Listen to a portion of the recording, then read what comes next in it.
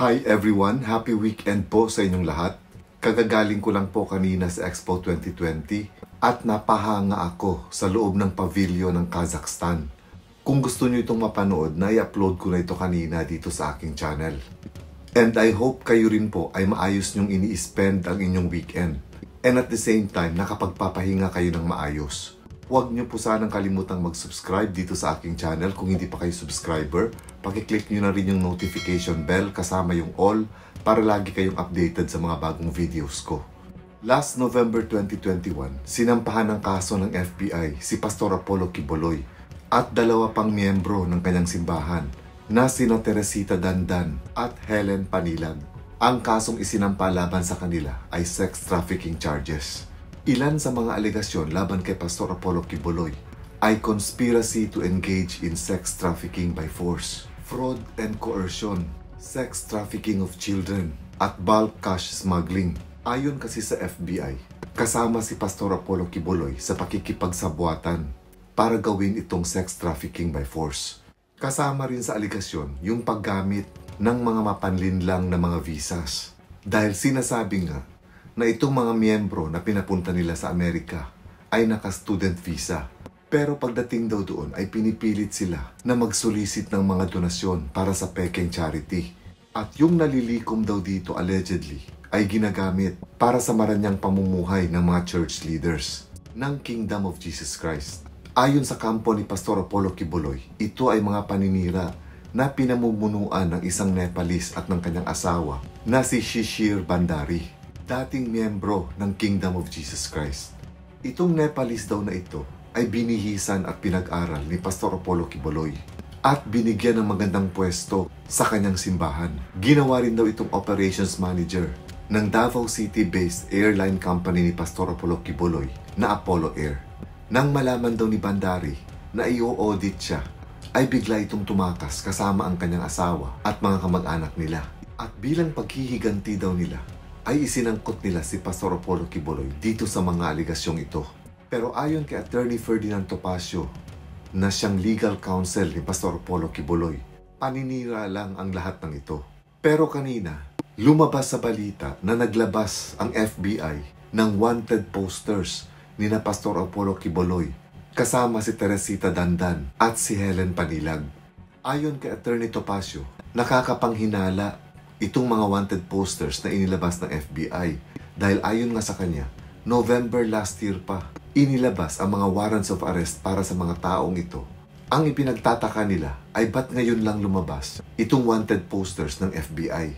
At hindi rin daw aware yung mga abogado nila sa California tungkol sa mga posters na ito. Samantalang dapat daw ay yung mga abogado nila sa Amerika ang unang-una na makakaalam tungkol dito dahil binabantayan nila ang anumang legal actions na mangyayari pagkatapos sampahan ng kaso si Pastor Apollo Kiboloy dun sa Amerika. Sinabi rin ni Attorney Topacio na mali din daw na nagpalabas agad ng wanted posters ng FBI samantalang hindi daw nabigyan ng pagkakataon si Pastor Apollo Kiboloy para sagutin ang mga alegasyon laban sa kanya. Kasi kahit pa nasampahan ka na ng kaso, hindi naman talaga ibig sabihin nito na guilty ka na.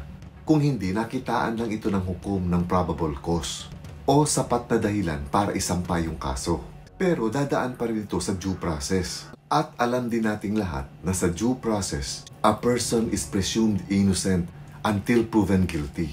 Kung maalala din natin, huling nagsalita si Pastor Apollo Kiboloy sa kanyang YouTube channel tungkol sa issue na ito nung sinampan siya ng kaso. At sinabi nga niya doon na hanggat patuloy na inuusig ang appointed Son of God, hindi matitigil ang pandemya.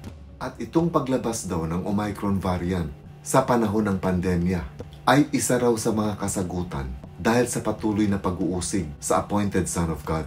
Sina Teresita Dandan at Helen Panilag, yung dalawang miyembro rin ng simbahan ni Pastor Apollo Kibuloy na kasama dito sa kaso, ang mga alegasyon laban sa kanila ay labor trafficking sa pamamagitan ng mga mapanlinlang na visas. Kasama rin ang mga alegasyon sa kanilang dalawa yung tungkol sa pagre-recruit ng di umanong mga babaeng biktima kasama na yung mga batang menor de edad para magtrabaho bilang mga pastorals na tinatawag nila.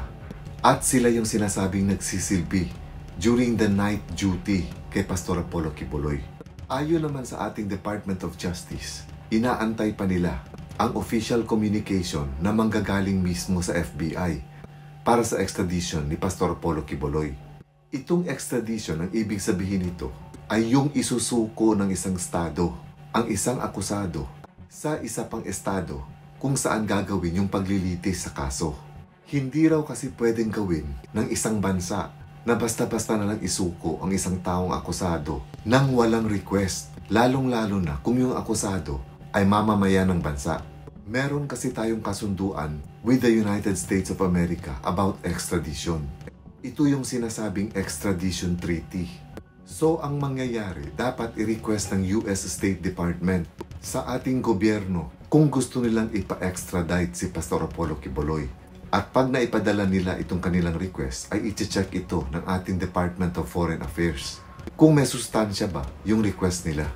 Ngayon, kapag nakitaan ng Department of Foreign Affairs na may sapat na dahilan yung request, agad nila itong i-endorso sa Department of Justice. At ang DOJ ang magfa-file ng extradition sa Regional Trial Court natin on behalf of the US government. Sinabi rin ng DOJ na hindi sila mag issue ng whole departure order para kay Pastor Apollo Kiboloy hanggat wala pa silang natatanggap na request for extradition from the US State Department. Wala pang official statement si Pastor Apollo Kiboloy tungkol dito. Pero magkakaroon ng press conference yung mga lawyers niya. I think both yung lawyers na dito sa Philippines kasama yung mga lawyers niya sa Amerika. Ang palasyo naman ay dumistansya rin tungkol sa issue na ito. Dahil alam natin na si Pastor Apollo Kiboloy ay matalik na kaibigan ni Pangulong Duterte. Pero ayon kay Senator Bongo, susunod sila sa legal na proseso kung sakasakaling i-request ng US State Department ang extradition para kay Pastor Apollo Kiboloy. Medyo mabigat itong mga aligasyon laban kay Pastor Apollo Kiboloy at sa ilang miyembro ng kanyang simbahan. Although naniniwala ako that the truth will always set us free. Lalabas at lalabas ang katotohanan.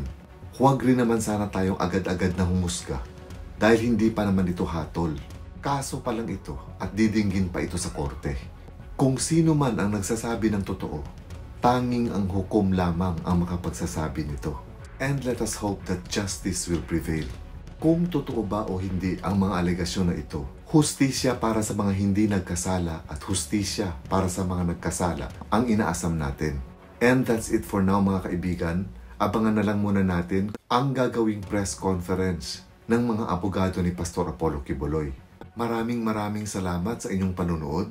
Enjoy your weekend. Have a blessed Sunday and God bless.